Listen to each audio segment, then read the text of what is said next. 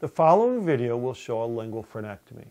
Now if you haven't done a lingual frenectomy in quite a while or have never done one, just remember to take it slow. Start just below the tip of the tongue, allow the laser to start severing the fibers, put a little tension on it and you'll stretch that out. Have the patient stick the tongue out to see when you complete it.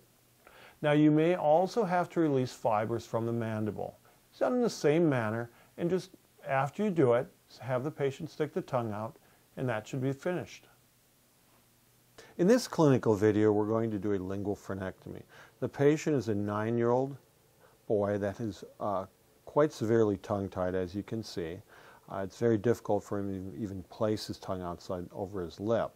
We're applying a stronger topical here, and we're going to start at about 0.8 watts.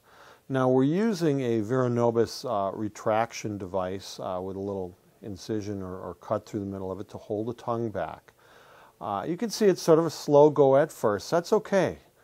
You know, this whole procedure is going to take about three minutes. So you can see we're right below the tip of the tongue and the tissue starting to separate out.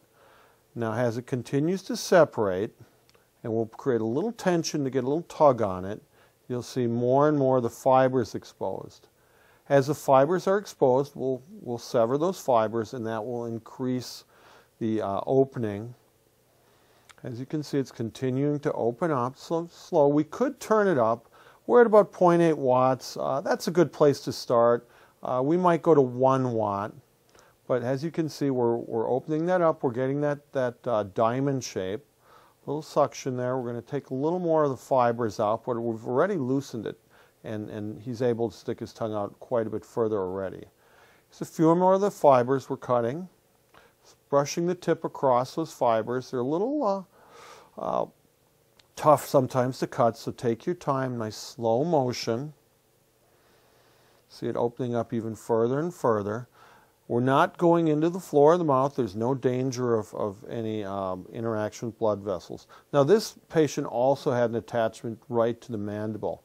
Uh, this is a little more fibrous. We turn that up a little higher, uh, one watt. You can see we're getting a little more uh, uh faster tissue removal.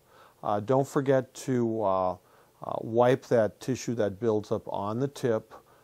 it'll just make for cleaner cutting when you do do that. And as we continue to do that, you can see it's opening up quite a bit, and that's going to release that, that that uh, uh, attachment right to the mandible. So we have two procedures in this case, and now you can see he's able to stick his tongue out quite extensively uh, compared to where we started with. So this again, is a, it's about a three minute procedure. We've gone from he couldn't get his tongue even over his lip to now uh, quite, quite good extension. Here's just another angle view of that.